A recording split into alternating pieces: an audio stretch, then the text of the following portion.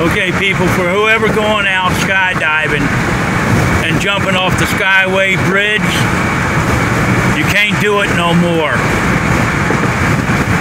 The reason why they doing road work here on the side of the road and they pitting up barricades. Give you a sample of what it is, is they pitting up fence. It's not like a fence, it's like more like a, a like like like a rope mesh. And here it is right here. And it's going all the way up, the whole skyway. All the way down the next side. You cannot do it no more jumping off or.